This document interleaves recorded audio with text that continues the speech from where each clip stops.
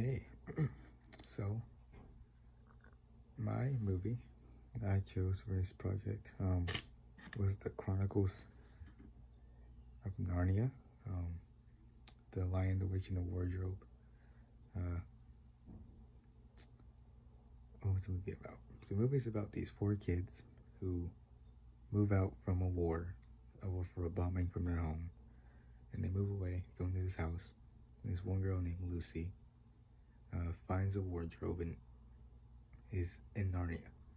And apparently in Narnia, there's a prophecy that four children, or four, or two sons of Adam and two daughters of Eve, will come in and save Narnia.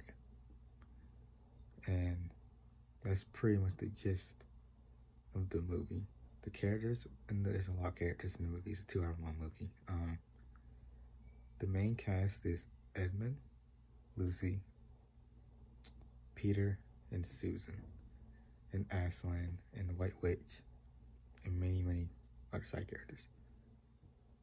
Was it a good film? Yes. It was definitely a good film. It was a great film. I would definitely highly recommend people watching it. Um,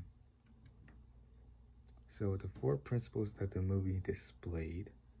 Um, the first one was emotional intelligence, which is basically a, uh, it was it's a idea or the ability to understand or identify one's emotions and handle stress and empathize with others. Um, we see this during the beginning of the movie. Um,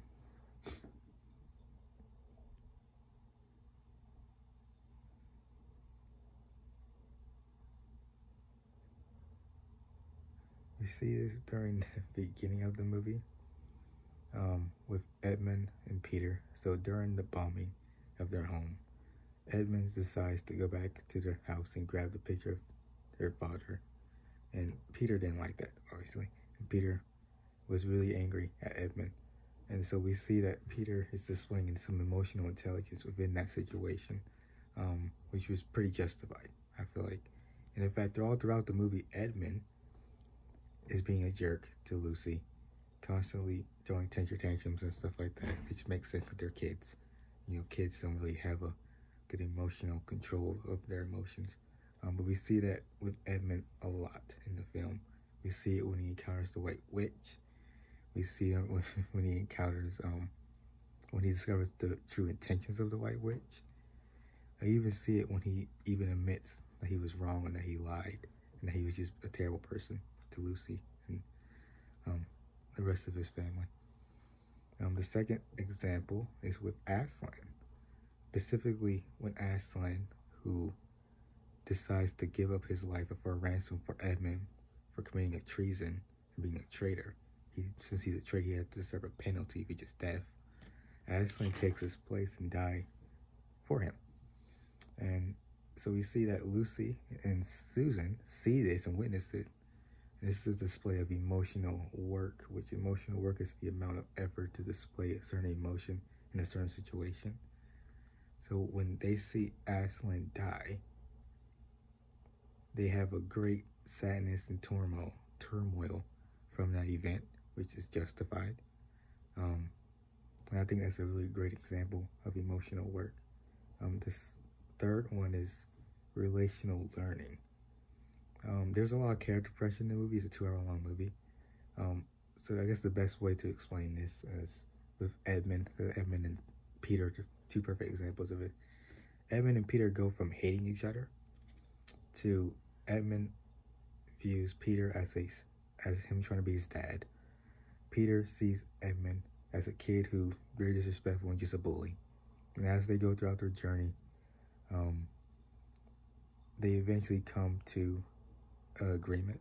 They eventually understand be- each other better, and they learn to accept each other's flaws and weaknesses, and embrace one another for who they are, and become friends again. Um, and the last one is display rules. Oh yes, display rules is a is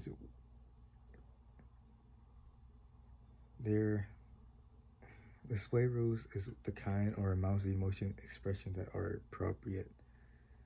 So the best way I can really explain this is like throughout the film, there's two emotional themes in the film. There's despair and there's hope.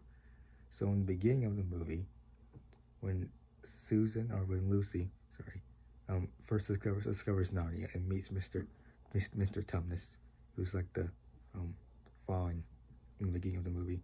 You see Mr. Tumnus with being sad and, and very full of despair and dread because he have to kidnap Lucy because the White Queen wants to kill her. But he doesn't do it. And he feels really terrible and sad about it because he he gives a hint that Narnia is full of, it's not the way how it was, not the way it was supposed to be. And so we see that in the beginning there's a sense of dread and despair. But towards the end of the movie, when you meet Aslan, there's a sense of hope. And we see that with all the animals there. Every all the animals are happy about Aslan. Even when the queen, when um, Edmund's in the prison um, with the White Queen, and he sees who she really is, who she actually really is, um, Edmund gets a sense of dread, and he mentions Aslan to her, and she's about to kill Edmund, the White Queen, and the White Queen um, has fear. And Mr. Tumnus, who was also there in that same scene, has hope. So Aslan represents hope, and the white queen represents despair. And you see that reflection through all, all the characters, how they interact with the White Queen and with Aslan. Um, and so this is these are the uh, concepts I found in the movie that was really interesting.